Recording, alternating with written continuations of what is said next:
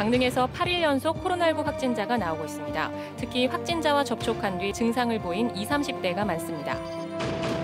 오색 케이블카 사업에 대한 환경부의 환경영향평가 제보안 요구에 양양 군민들이 집단 민원을 낸 가운데 국민권익위가 현장 조사에 들어갔습니다.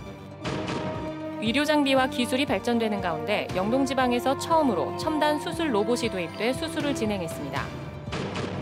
강원형 배달 애플리케이션 일단 시켜가 연말까지 도내 18개 시군 모두에서 운영될 예정입니다.